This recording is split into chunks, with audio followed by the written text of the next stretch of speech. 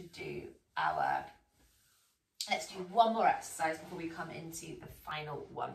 And we are going to do a few scapular push-ups. So for our scapular push-ups, this really depends on your knees and your body. So I'm going to do it on an all fours position like this. If all fours doesn't work for you, it hurts your shoulders, it hurts your knees or whatever it might be, you can do this same exercise with your hands against the wall like this. So you can be standing up with your hands against the wall. You can even just be like kneeling like this if you want to. It's going to be a little bit less load through the shoulders.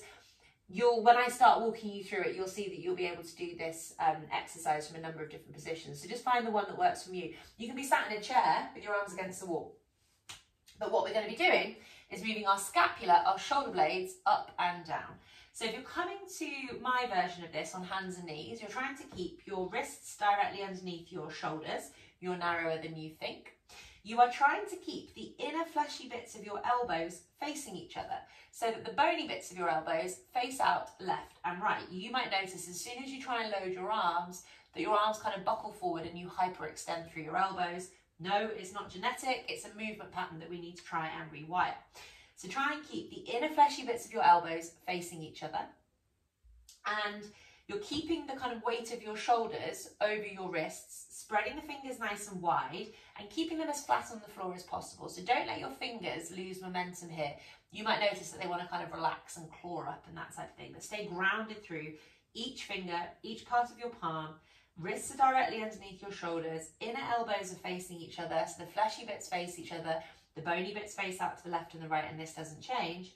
And you're not moving your neck here, you're moving your shoulders up and down. So I say that because people always want to crank around with their neck when their shoulders don't move very well.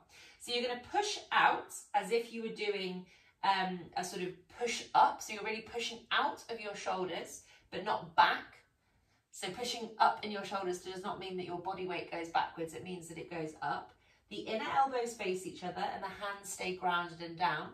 And then you're going to sink in to your shoulders. Again, you're not moving forwards or backwards, you're moving down.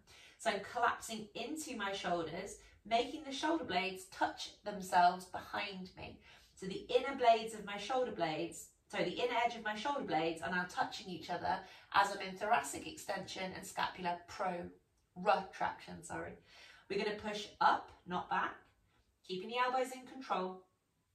And we're being into that protraction of the scapula and kind of thoracic flexion. And then we're sinking down in like this. So we're going to do 20 of these. We're not worrying about our pelvis or anything else right now. Please don't let your head take over. This is not a neck exercise. It's a shoulder exercise. So focus on the movement through the scapula to the tops of your back and making sure that you're focusing on keeping those inner elbows facing each other, the fingers extended and active and grounded on the floor. You're not bending, rotating or adjusting your arms. The movement is happening at the shoulder without compensation through the arm. Off we go. One, two, three, going as deep into your shoulders as you can four, getting them to touch behind. Five, watching that the elbows don't want to cheat and rotate. Six, seven, eight, nine, ten, eleven,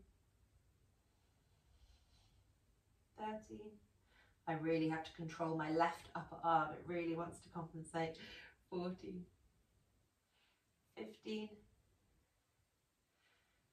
16. Go into the shoulders. You should be getting further and deeper into your shoulders every time. Do not hurry through range of movement at the expense of speed. Speed is the least important thing. 18, 19, and 20. Okay,